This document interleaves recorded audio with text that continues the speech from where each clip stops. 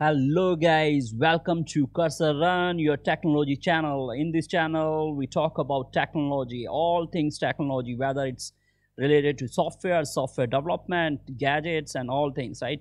Um, and those things can be related to freshers, whether you just came out from the college and you are trying to explore new things. We, all, we talk about those, and we also talk about experience and advanced stuff on this channel. And just so that you know, I am your host, Rahul Sharma from IT, from software engineering background, working in the industry for more than 20 years now.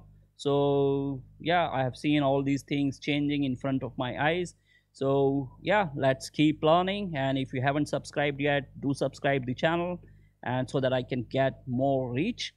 Uh, in today's session, we are talking about Microsoft Dynamics 365 Finance and Operations.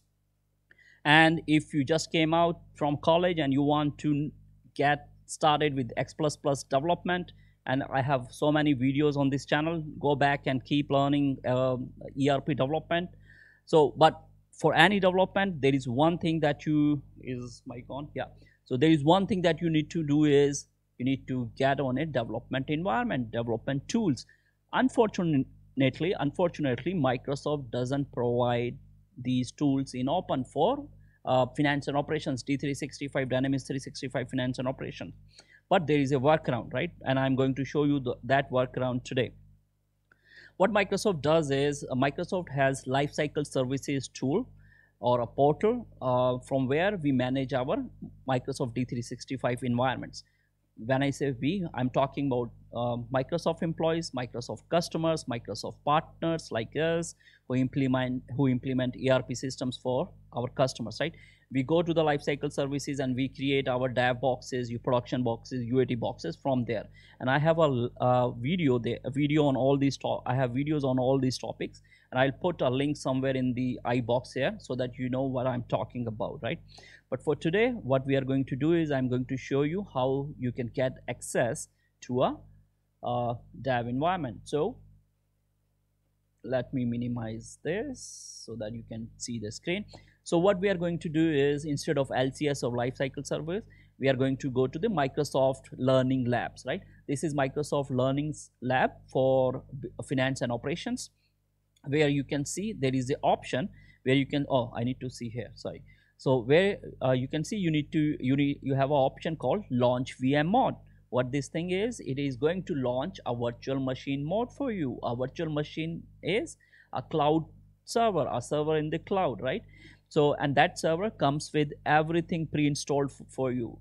You need Visual Studio, it is there. You need any other development tool for finance and operations d365 dynamics 365 it is all set up and ready to go for you right? You just need to click here and i will provide you lab and you know detailed instruction link in the description box below. But before you click on that description link you need to do one thing right? Before uh, so that you get all these things right. You need to subscribe to the channel. You need to subscribe to the channel okay? Because that's important and that's your gesture towards me a thankful gesture for my time and efforts that i'm putting in these videos. So do subscribe guys.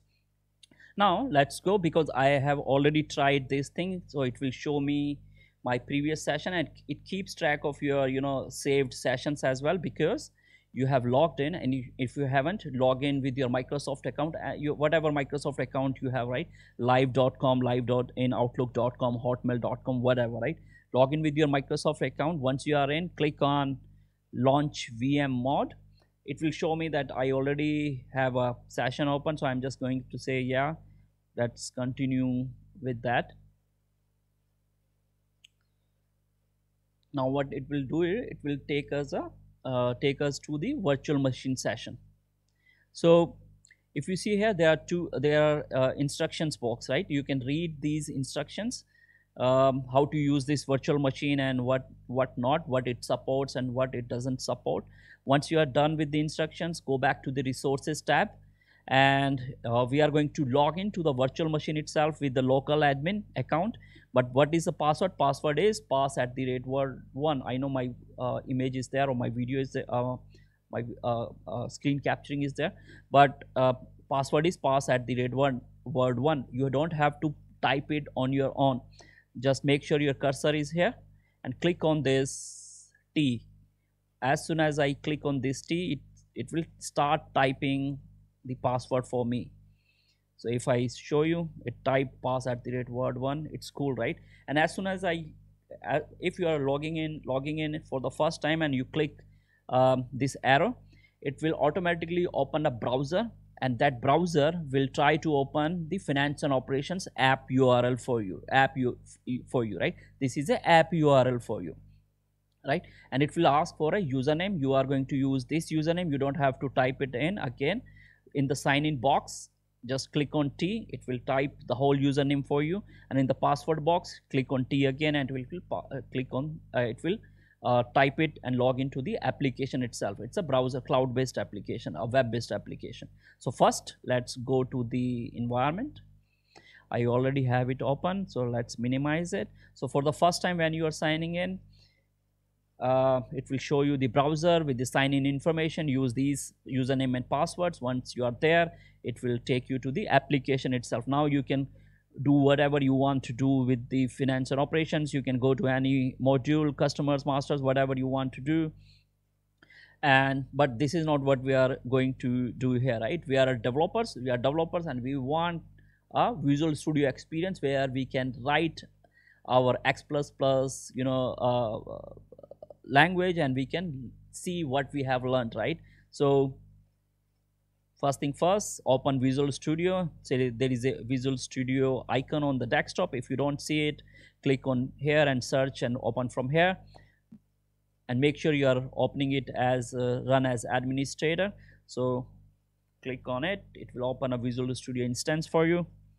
Now what you can do is uh, either you can click on an existing project or solution. I already have one but if you want to create a new project click on the create new project. Create new project and uh, the template we are going to use is finance and operations. Click finance and operations next. Provide your project name and solution name. Hit create. I already have it. I'm not going to click it. So let me remove the sample that I was trying to show you.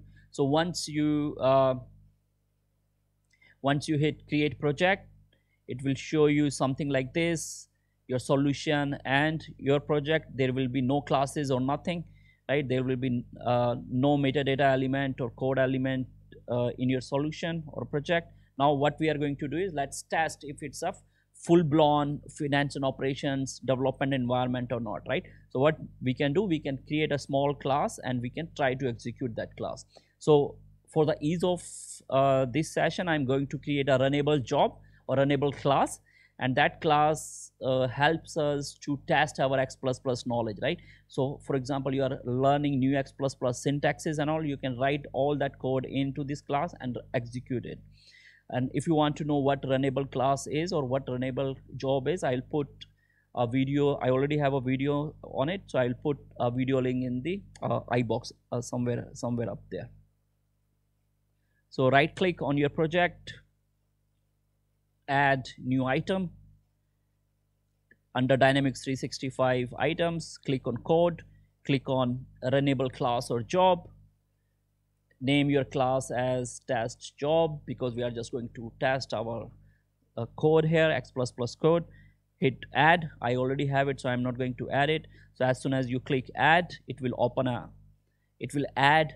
And if it is slow right it might take few seconds so have patience. It will create a class for you and it will open a editor like this for you right? It will be a blank class with the class name as test job and one method in it and the method name is main. So again what this main is and what is runnable class and all that stuff go to that i link that i, I was talking about okay? Um, so this is a blank class and a form for uh, uh, and a method for us right? So what we are going to do we, let's try some code here. So let's display hello world on the screen right? So how do you do it in x++ there is a command called info. That's a function global function info and it takes few parameters. The first parameters is of type text or string and the other parameters are optional. If you see it in the square brackets these are optional parameters. This is a uh, uh, mandatory parameter. So i'm just going to type hello world here. We are going to display a string. So this string is going to be in double quotes bracket 1 every command ends with semicolon in x++ save it. Once it is saved you can compile it manually from here build and rebuild right? You always compile your solution or project so that a system compiler makes sure that there is no comp uh, compiling errors or you haven't made any mistake. Uh, or you can directly uh, click on start button so that it compiles builds your solution and executes it and opens it in a browser but you need to tell the system which class you want to run as a startup object.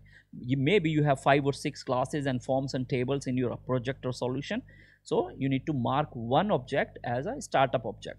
So i'm going to right click and say set as startup object so that whenever i run this project or solution this class should be executed automatically. So if i hit start it will build the solution. It will make sure that there are no errors now what it is doing it is compiling and building our x++ code and converting it into a CIL common intermediary language. That's what .NET framework or runtime understands. Uh, and every code whether you're writing in C sharp or X++ gets converted into CIL then .NET framework runs it like Java runtime right? So uh, .NET runtime runs it and displays the output to you so once it is done it will open a browser for us because finance and operations d365 is a web-based application.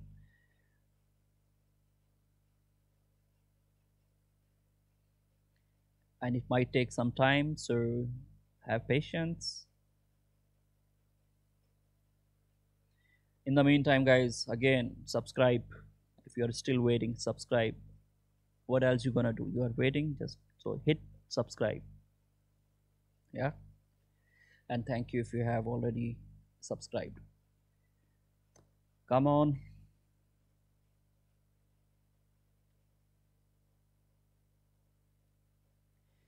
And yes uh, because this is a technology channel guys i do talk on various technologies and coding and all that stuff. If you want to learn something new and if you want me to create videos on those things please let me know in the comment section. And i'll try my best to help you guys make your career in software development or any technology technical technological field you, you are following to to.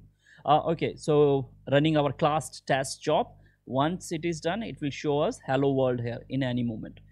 So right now it's running our code because it's a lab session it's a virtual machine uh, that's why it's slow. So here you see hello world finally printed on the screen. Whatever your info box information message you print in finance and operation it comes here at the top of the screen in the information section. So yeah that was the quick video uh, explaining you how you get started with finance and operations x++ development and most importantly where from where are you going to get the development environment or development server or development box? This is how you do it. So guys if you found this information if you find this information helpful it's really late in the night. I'm already half asleep so i don't know what i'm speaking but if you find this information useful guys please do subscribe and share with your friends and colleagues so that's it for today and i'll see you in the next session. Take care and have a good night